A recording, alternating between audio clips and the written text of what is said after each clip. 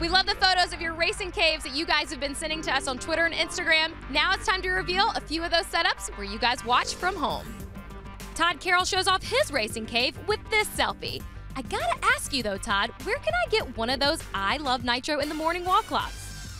Melissa Noakes from Chandler, Arizona shows off her racing cave and ponders the question why can't it be a woman cave? Hey, Melissa, it can be.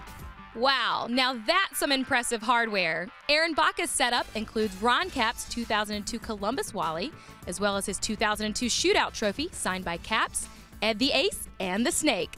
And since we're on the topic of hardware, check out this collection of Wallys that line the wall in three time champ Larry Dixon's racing cave. Hey Larry, care to spare one? Thank you to all of our fans for submitting your racing caves to us on Twitter and Instagram. Keep the conversation going using the hashtag NHRA on Fox.